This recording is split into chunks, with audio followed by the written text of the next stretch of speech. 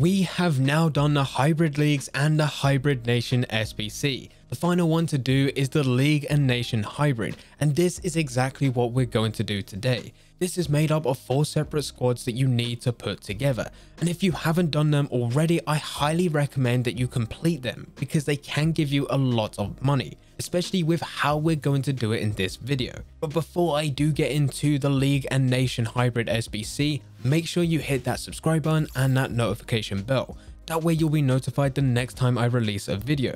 If you are one of the first to watch that video, it does mean that you'll be one of the first to put one of these trading methods into action to maximize your profits. Getting back into the video, completing the League and Nation Hybrid SBC. There are four separate teams, the Challenger, Advanced, Fiendish, and Puzzle Master. If you're looking for a specific team to complete this SBC and you're not needing all four teams, then I have left time codes in the description down below as well as you can see that in the YouTube timeline. So this will help you skip through and go to the time in which you want to be at to complete the correct team that you want to complete. To begin with, we have the Challenger. The requirements for this is nationalities exactly 2, leagues exactly 3, players from the same nation max 6, players from the same league max 6, player quality exactly gold, and team chemistry exactly 100.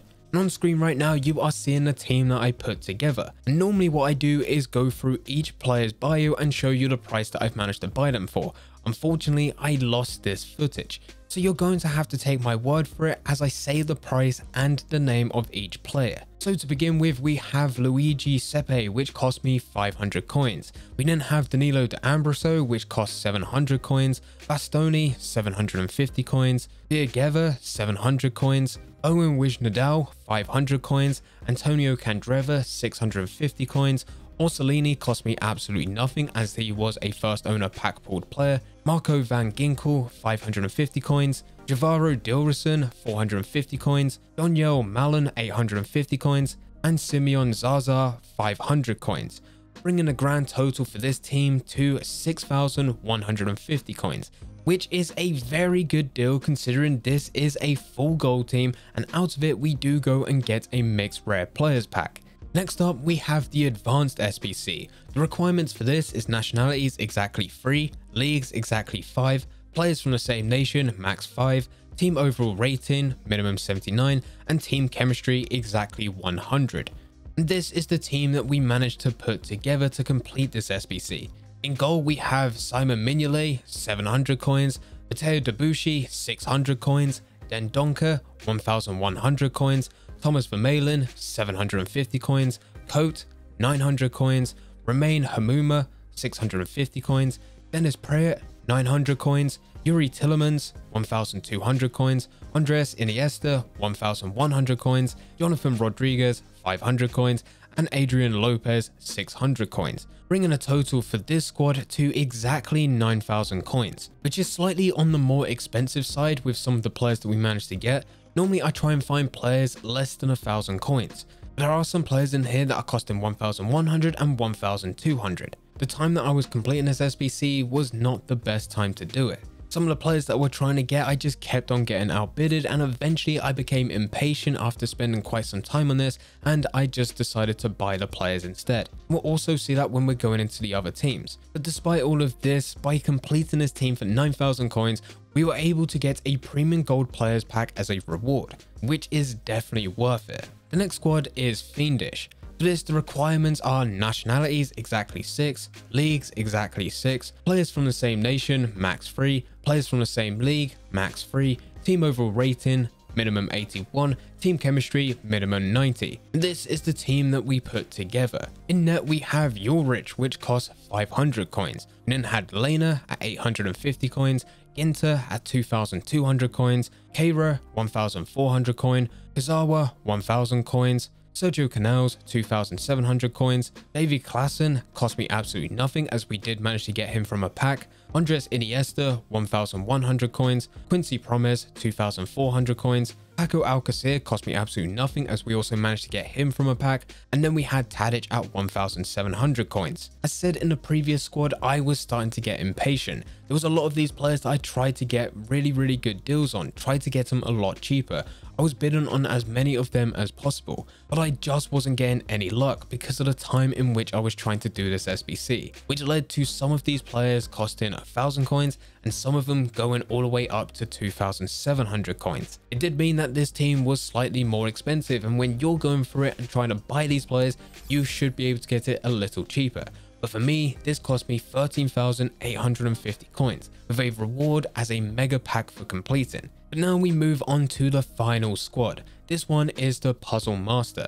The requirements for this is nationalities exactly 9, leagues exactly 7, players from one club max 3, team overall rating minimum 82, team chemistry minimum 85, number of players in the squad 11. In net, we have Strakosha at 2,200 coins, Miranda at 1,300 coins, Daley Blind at 2,100 coins, Jan Vertonghen at 3,900 coins, Willian at 1,900 coins, Konrad Laimer 1,300 coins, Kevin Kampl 1,100 coins, Yannick Carrasco 1,300 coins, Nicolas Pepe 900 coins, Yussuf Poulsen 700 coins, and Thomas Lemar 1500 coins. Considering this is a squad that needed to be a team overall rating of 82. And for how complicated it is, this is actually a very very good deal, costing 18,200 coins to put this all together. There is one issue with this squad and you'll probably notice it, is that it doesn't get full chemistry. It works for the SBC in every other area, but because of loyalty, we do need to get 5 chemistry. And even if you were to go and change each player to be in the correct position with position modifiers, it would still be lacking chemistry. This means unless you already have the players in your club which you've managed to pack, or you've managed to play 10 games with these players before, it does mean that you're going to have to get that loyalty. And you can only do this by playing the games. There used to be a method where you can go into squad battle matches and just dashboard. This would not even count as a loss on your record, but it would count as a match played with every single player that was in that squad. Unfortunately, EA have patched this. You can no longer do this, which means the only other way to get loyalty is by playing all 10 matches, which can take some time, or just going into the matches and forfeiting.